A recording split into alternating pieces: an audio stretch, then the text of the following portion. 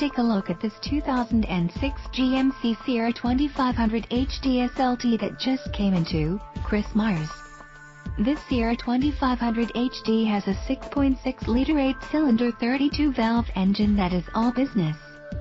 It comes with an audio controls on steering wheel, CD player, engine hour meter and provides you with a sense of security with its safety features, including 4-wheel ABS brakes, daytime running lights, passenger airbag and more.